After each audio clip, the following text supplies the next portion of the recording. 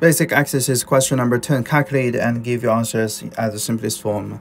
The first one will be 63 over 99 times by 11 over 14. Uh, we, need, we can simplify it. You got 9 here. And both of number divisible by 7. You got 2.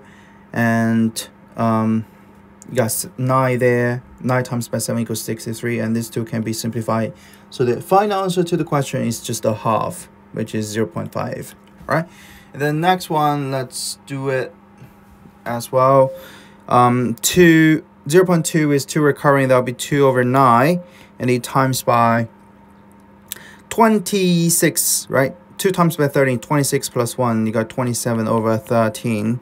And then you times by this uh, 0 0.28 with 8 recurring, that will be 90. And in the denominator, that will be 28 take away 2. Okay, let's see what do we have. That'll be 2 over 9 times by 27 over 13 and times by 26 over 90. Um, these two can be simplified, you got 3, and these two can be simplified, you got 2. 3 and 90 will be simplified, you got 30.